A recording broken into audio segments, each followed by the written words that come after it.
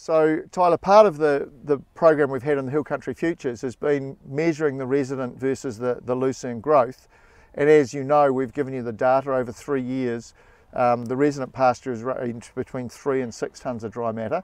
Um, but your lucerne's grown, and even in a very dry summer, it grew 10 tonnes of dry matter, yep. and it grew, I think, was um, 18 or 19 tonnes last year when you had, you talked yeah, about a good summer. summer. Yep. Yeah. So how does that change um, your perception of the plant, and and how's that been useful for you?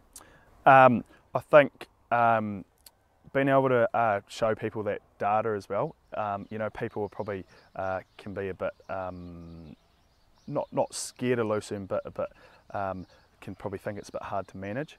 Um, but uh, we've found that um, you know uh, as long as you um, apply those simple um, you know your basic principles um, and, and, and, as you um, as you go along you pick up pick up a few things that you'll find that will fit in your system because it might not be the same for everybody else. Um, yeah, I think it can be a, um, so was it surprising for you at how much extra the lucerne was growing compared with your resident grass? Oh yes, massively. Yep, yep, yep, massively. Um, yeah, definitely. Yep. And that sort of made you fall in love a little bit with the plant. Yep, yep, definitely. I'm, I'm saying that, but, you know. Yeah. You have yep. to. I mean, if you're oh, growing yeah, two yeah, to three yeah. times as much feed, why why would you why would you not do it?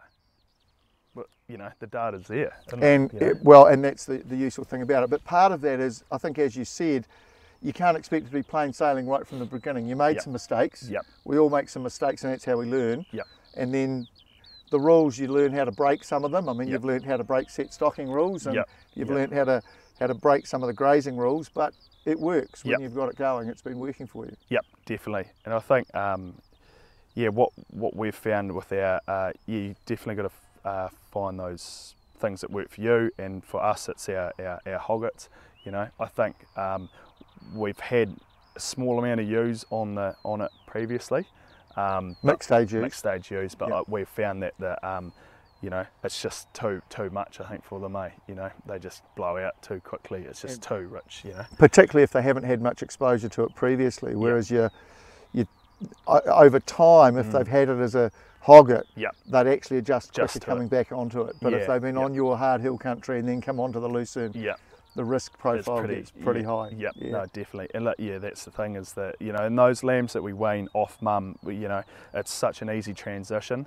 You know, they've been on it with their mums. It's, you just literally don't have to worry. You just so you take mum you away, go. and yep. they're quite happy walking around yep. afterwards because this is the feed they've had. So. Yeah, yeah. And we've found in the past as well introducing, um, actually introducing bought-in lambs. Where, uh, we did that last year, and we definitely found the lambs that have been on the lucerne from day dot out competed the ones that um, had been introduced. Um, yeah, definitely, and that just comes back to that um, that you know that rumen development, doesn't it? Yeah, and they know what they're eating. They know how to eat it. Their rumen adjusts quickly, and, Yep. and they go into it. It's one of the issues we have with people who um, set stock on the grass and then wean onto their lucerne, having taken the first round as cut, Yeah, first you know cut and carried, yeah, and then there's a couple of weeks of adjustment, and they don't get the benefits that you're describing for your hoggets. Um, and it's and the hoggets are pretty important on this farm. I mean, you, you said you've got 3,000 odd. Yeah. That's quite a, an important component of the farm system. Yep, and, uh, and and that's the well, that's the main key to our um, our, our um, breeding flock, I guess. You know, we're getting those. We're kind of we're setting them up um, to thrive um, through through as a mixed age ewe.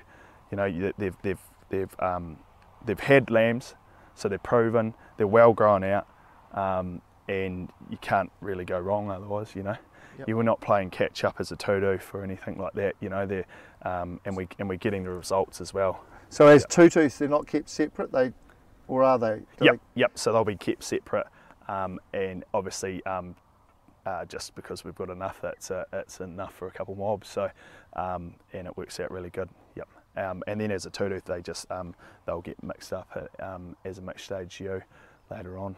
That's great.